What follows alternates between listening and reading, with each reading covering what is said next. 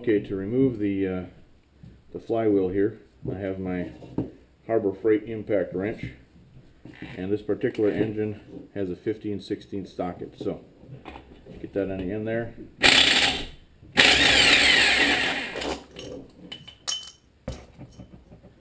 And there we go. Since my flywheel puller won't fit on that bolt, what I, another option is to take the uh, nut that I just took off, put it on here, just enough so that it's flush with the threads.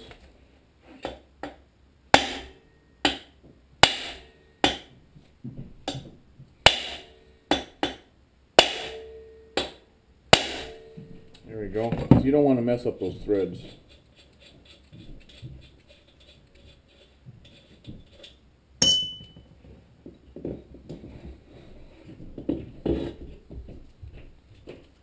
There we go. There's the flywheel.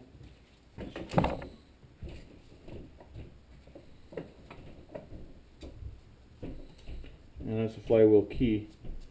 Flywheel key does not look bent or anything at all.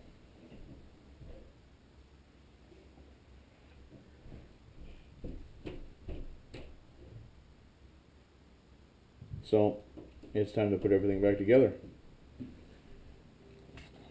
Alright, now what I want to do is put the flywheel back in place.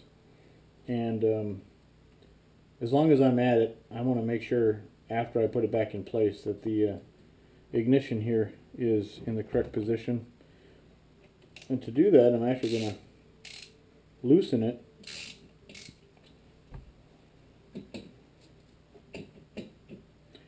And see there's some, some travel there. And what I'm going to do is pull it all the way up. And then just uh, snug it down just a little bit here.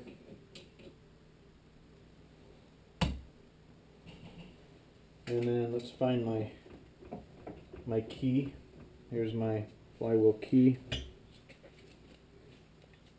And there's my keyway.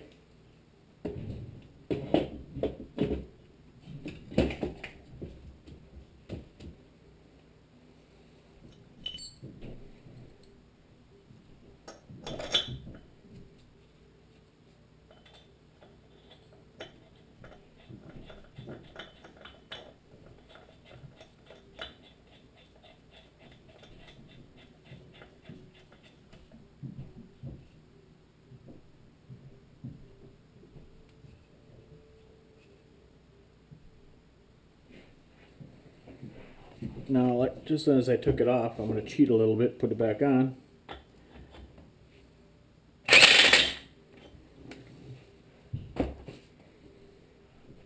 But I'm going to also check to make sure that that is tightened to the proper spec. So, let's take care of that. Alright, as I mentioned, the uh, specs for tightening this nut here 52 foot-pounds. My torque wrench only goes, uh, is only inch pounds. 52 foot-pounds is like 600 inch pounds. So, let's see if we can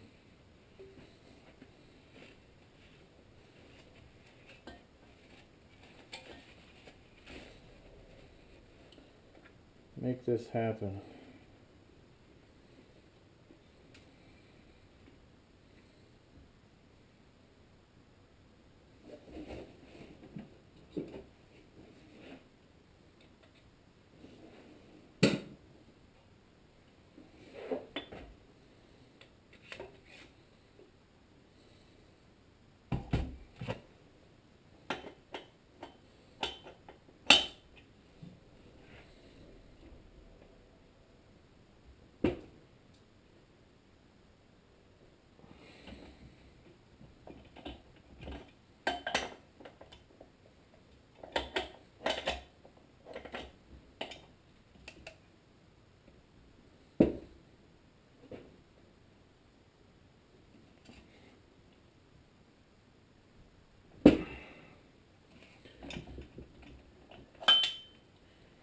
Well, you know what? About 400 foot pounds is all I got. So that's gonna have to be good enough. This is a new addition to my tool selection. Check out my video on how I made this strap wrench.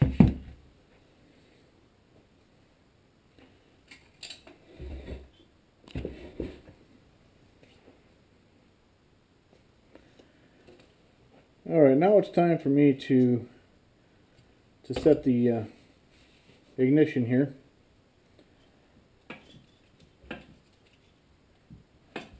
And how I'm going to do that is I'm going to loosen these these up. And I have an index card here that I folded in half. And I'm going to do is slide this under here. And then I'm going to rotate the flywheel. Whoop.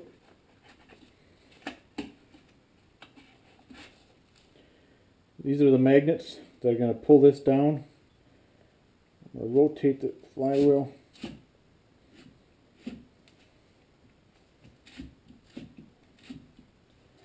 Till those magnets hold that down. Right there. And then I'm going to tighten up these two bolts.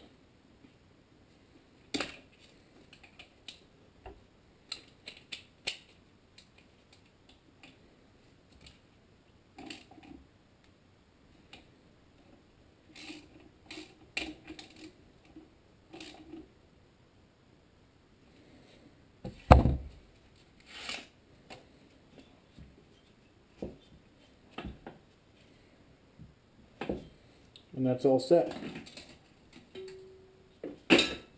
So, there we go. Flywheel's back in place. Valves are done. Put the valve cover back on and the breather back on. Get this engine back together.